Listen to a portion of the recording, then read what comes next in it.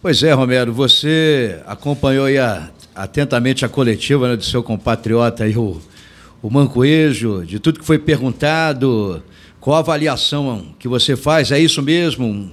O momento é de dificuldades, mas também de superação e não resta outra alternativa, né? Só vocês podem mudar essa situação. Primeiramente, boa tarde. Com certeza, né? Acho que Mancu falou as coisas certas.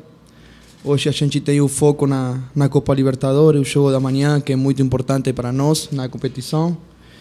A gente precisa de, de ganhar, mas tem que ser um jogo equilibrado, saber jogar, é um jogo importante, que vai dar tranquilidade com certeza para, para o resto de, da Copa Libertadores para nós. Cada jogo é uma história, o se o Cruzeiro superar o Vasco, e é preciso superar o Vasco, é preciso recuperar na Libertadores, isso poderá gerar um reflexo altamente positivo para depois jogar a decisão? Sim, sim, seguramente é, seria um golpe anímico muito bom, né? A gente conseguir a vitória de, da manhã, mas com tranquilidade. Primeiro temos que pensar no jogo de, com Vasco e seguramente depois a gente planificará o jogo de domingo, né? Romero, a parte psicológica, ela vai ser mais importante nessa partida de quarta-feira, pelo momento que o Cruzeiro vive? Sim, seguramente. A gente tem que ser é, psicologicamente tem que ser forte, né? É, o futebol é assim. É, tem dia que você é, acorda num mau dia, é, perde um jogo e tem que tentar se levantar rapidamente porque o futebol brasileiro assim quarta domingo, quarta domingo tem jogo, tem decisão, então é importante saber se levantar rapidamente. É uma competição em que o Cruzeiro, pelo regulamento, tem que colocar menos jogadores no campo. Mais do que nunca, a força do elenco tem que ser botada, colocada à prova nessa partida também. Sim, a gente demonstrou aqui hoje, né? É, Manco estava falando, eu estou aqui de lado, para demonstrar que todo o time está junto, né? Que o time está fechado, que tem um grande elenco, um bom grupo e isso é importante. Aqui é uma família e todo mundo tem que que sair junto para frente. Romero, esse jogo contra o Vasco, qual que você imagina que vai ser a maior dificuldade do Cruzeiro amanhã no Mineirão? Não, acho que tem que trabalhar a parte de tranquilidade do jogador, né? É, a parte psicológica, como eu falei agora, é, tem que entrar tranquilo. A gente está recebendo o apoio do torcedor, que isso é muito importante. É, Vasco tem um time muito qualificado, né? Um time bom no ataque. A gente tem que estar tá atento nessa hora e seguramente do meio campo para frente os jogadores nossos vão saber resolver o, o, o jogo.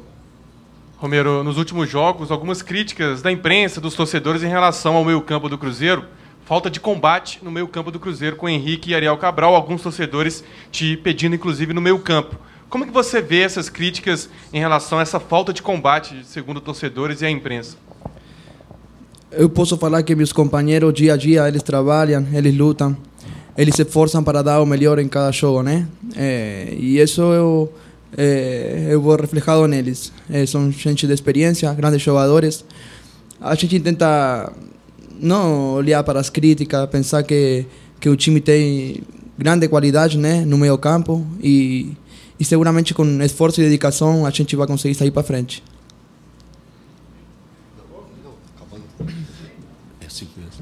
É Quero repetir a pergunta que eu fiz para o Manquejo. Como que você vê o apoio da torcida nos momentos difíceis aí do Cruzeiro e ver o Mineirão lotado? Para nós é muito importante. Desde, desde que começou o, o, início do ano, né, a torcida vem acompanhando muito o time, sempre lotando o, o estádio. Então, a gente tem um compromisso muito grande com eles e temos que retribuir com, com alegrias, né? Como que você vê a questão da, das manifestações lá no, no portão? Alguns jogadores pararam para conversar com os torcedores que vieram até aqui a toca hoje. Uma manifestação pacífica. Eu parei para conversar com eles. Não foi manifestação, senão uma demonstração de, de apoio para o time. Falar que a gente, que o torcedor está com nós e que acredita muito no, no equipe. Você falou aí do torcedor, né, Romero? E o torcedor tem muito carinho por você, até por essa raça, por essa vontade que você sempre deixa em campo. Você falou um pouco dos torcedores, mas eu queria que você deixasse uma mensagem direta para os torcedores que estão assistindo aqui, todos os veículos de comunicação, uma mensagem para o torcedor que ficou um pouco chateado com essa derrota de domingo, mas está confiante sim para quarta-feira e para domingo que vem. Não, eu posso passar é, tranquilidade para eles na hora de, de, pensar no jogador. O jogador está se esforçando muito, lutando, tentando superar e sabendo que, que nós temos foco no, na Libertadores, que é uma competição muito importante para Cruzeiro que por a grandeza do clube tem que, que brigar por título, né? E a gente se vai esforçar muito para, para conseguir essa vitória amanhã e conseguir essa força para chegar no domingo bem e, e conseguir o título estadual também.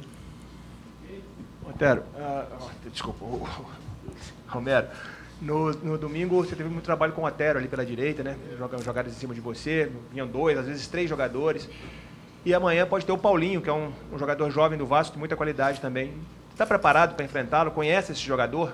Sim, a gente olha muito né, o futebol eh, brasileiro. Eh, estamos também olhando muito os rivais né, direto da, da Copa. Né? Hoje também tem um jogo de Racing com, com o time de, de Chile e a gente vai estar atento a esse jogo também.